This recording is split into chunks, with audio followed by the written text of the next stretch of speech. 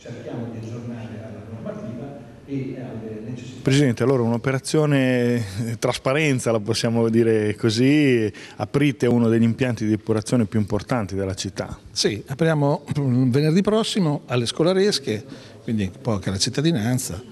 eh, il depuratore di Ponte Metauro. Questo è un momento per noi importante perché intanto avviene a 40 anni dalla costruzione del primo depuratore. Penso che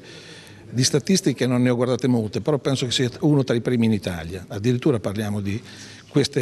genere di sensibilità che è nata 20 anni dopo, 30 anni dopo in altri comuni molto più forniti di noi e molto più importanti.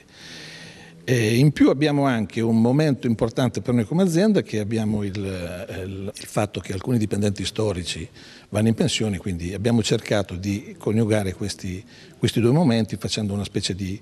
passaggio di consegna tra i giovani che già eh, sostituiscono egregiamente le persone che vanno in pensione e questi personaggi che per noi sono non solo dei, dei collaboratori ma dei veri e propri pezzi di memoria storica perché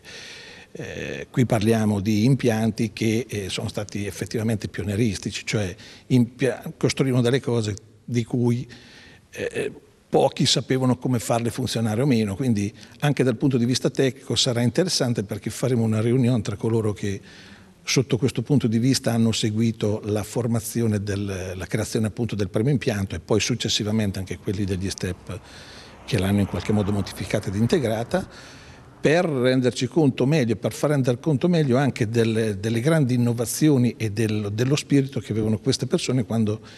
si sono um, diciamo così, inseriti in questo, in questo, progetto che era probabilmente più grande di loro e, ed era un progetto sul quale era difficile anche confrontarsi perché non ce n'erano di analoghi in giro, quindi sarà interessante anche questo aspetto. Quando è stato inaugurato questo, questo impianto, parliamo di 40 anni fa,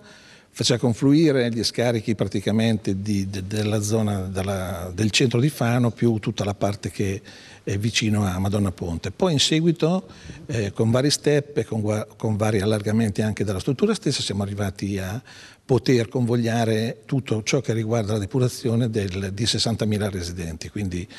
è una media, parliamo del 99,9% del, delle acque depurate, quindi è una media che invidiabile e non riscontrabile eh, da altre parti. Mettere in atto tutte le strategie per abbassare